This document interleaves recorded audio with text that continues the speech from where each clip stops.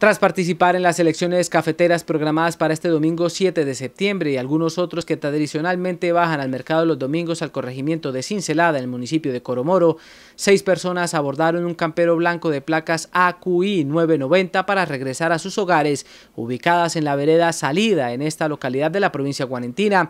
Sin embargo, luego de 40 minutos de recorrido sucede la tragedia. En hechos que son materia de investigación, el vehículo rodó cerca de 50 metros por un precipicio, dejando como resultado tres personas muertas y tres más heridas. Familiares de las víctimas narran así lo sucedido.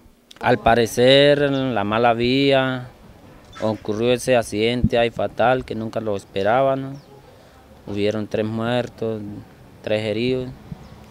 entonces estamos ahí, él perdió el control de la vía, no podemos entender qué pasó, entonces para solicitarle al, municipio más ánimos en las vías rurales porque son vías importantes y estamos, se han perdido muchas vidas en esas vías. Una hermana se, se perdió, se perdió, María Amparo Martínez Ardila, se perdió amigos ahí de la vereda, conocidos y se quedó una familia huérfana, un hermano, unos hermanos solos y un esposo.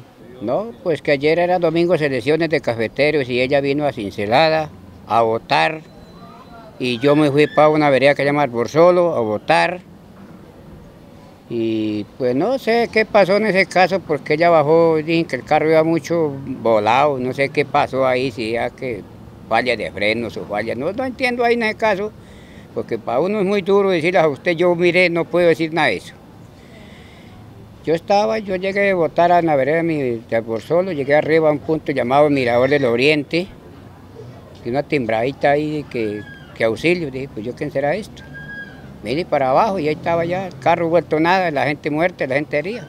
Las tres personas que resultaron heridas tras el trágico accidente fueron remitidas al hospital de San Gil para ser valoradas por personal profesional, toda vez que presentaban heridas graves con compromiso óseo. Al parecer, una de ellas fue remitida al municipio del Socorro dada la complejidad de su lesión.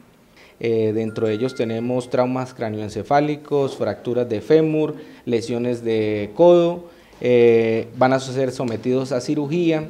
Hay eh, dos, una una paciente que estamos eh, ya próxima a intervenirla quirúrgicamente por una fractura de fémur.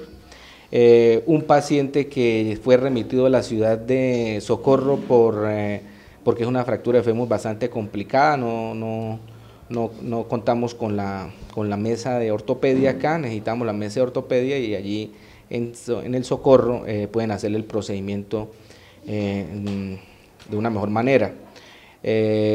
Los otros pacientes pues son dos pacientes, uno con un trauma craneoencefálico eh, leve que realmente ya está bien, ya está estable, y el otro paciente que está siendo valorado también por ortopedia para entrar a cirugía.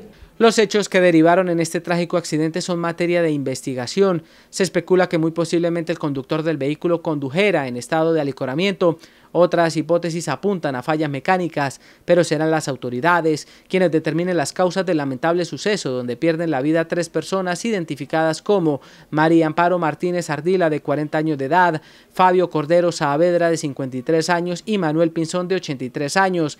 Entre los heridos están el conductor del vehículo siniestrado Anselmiro Martínez Ardila, Selmira Acosta Sanabria y Cándido Pinzón Martínez.